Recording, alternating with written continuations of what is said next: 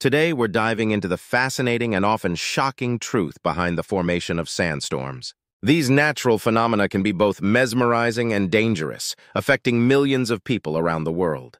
So how exactly do they occur? A sandstorm, also known as a dust storm, is a meteorological event where strong winds lift large amounts of sand and dust into the atmosphere. These storms are common in arid and semi-arid regions and can transport particles over vast distances, impacting areas far from their origin. The primary driver behind sandstorm formation is wind. When wind speeds reach a critical threshold, they can lift loose sand and dust from the ground.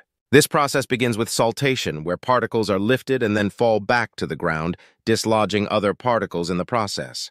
The type of soil and terrain plays a crucial role in sandstorm formation. Loose, dry, and fine-grained soil is more susceptible to wind erosion. Regions with sparse vegetation and disturbed land, such as deserts and dry riverbeds, are particularly prone to generating sandstorms. Weather conditions, such as temperature and atmospheric pressure, also contribute to sandstorm formation. Hot, dry conditions and strong pressure gradients can enhance wind speeds, increasing the likelihood of sand being lifted into the air. Cold fronts and thunderstorms can also trigger these events.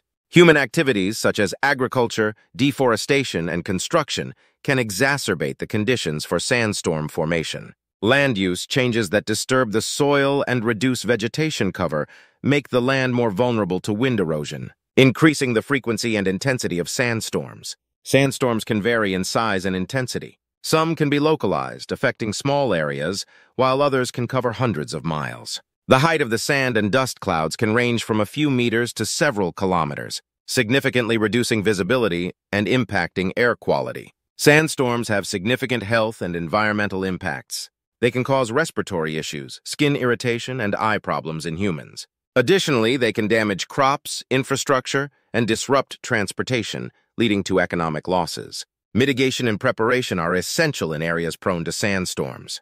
Planting vegetation, creating windbreaks, and using ground cover can reduce soil erosion. Public awareness and early warning systems can help communities prepare and minimize the adverse effects of sandstorms. Let's look at some real-world examples. The Sahara Desert in Africa is one of the most significant sources of sandstorms, affecting regions across the Atlantic Ocean, including the Caribbean and the Americas. Similarly, the Gobi Desert in Asia frequently impacts China and Mongolia. Climate change and land use practices may influence the frequency and intensity of sandstorms in the future. Understanding these trends is crucial for developing effective strategies to mitigate their impact and protect vulnerable communities. Sandstorms are powerful natural events shaped by a combination of wind, soil, weather, and human activities. Thank you for watching, and don't forget to like, share, and subscribe for more insightful content.